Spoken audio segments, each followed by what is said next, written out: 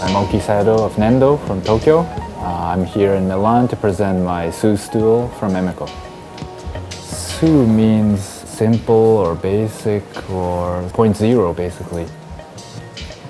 Emeco is about providing tools for architects and interior designers and uh, I think uh, Su is really in line with that. The idea was about making a stool that goes in line with the typical Navy chair, the icon of the Emeco brand.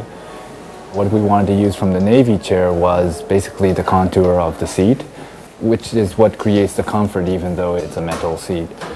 And also the profile of the legs, which has very flat surfaces but it has curves as well, which creates the visual softness of the chair. Working with Emeco was almost like working with an Italian company. Um, there's Greg, who's in charge of everything. He decides everything. And then there's Magnus, who is in charge of product development.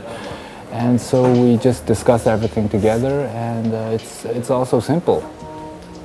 Greg showed me a list of materials, eco-friendly materials that we could use, and we were supposed to choose maybe one or two out of these materials. And we said, why don't we do all of them?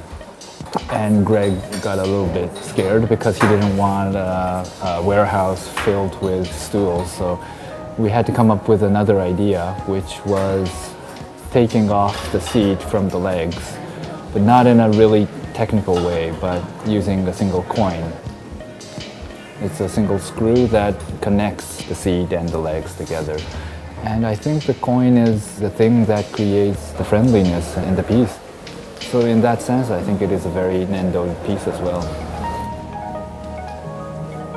So the customer can decide the finish or the materials of the seat and the legs. The legs, we have three different finishes and three different heights. And by taking off the seat, we can stack up the legs as well.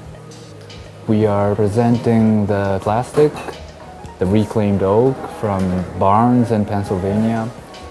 We have the concrete, we have the aluminium and the matte and the mirror finish and uh, the cork as well. And in the future we're thinking about leathers or upholstery, things like that as well. So I think this is not about just designing a single piece of furniture, but it's more like a system that we can develop in the future as well.